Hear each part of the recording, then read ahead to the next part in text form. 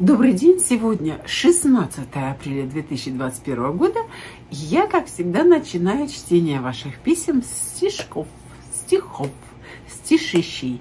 Сегодня небольшое стихотворение. Галюша Кругляк нам снова его прислала. Спасибо, моя дорогая. Почему так в жизни случается, что любовь так поздно встречается? Вот и молодость к лету канула, а любовь взяла и нагрянула – Почему так в жизни случается, что с любовью весна возвращается, а душа и поет, и плачет. А разве возможно иначе?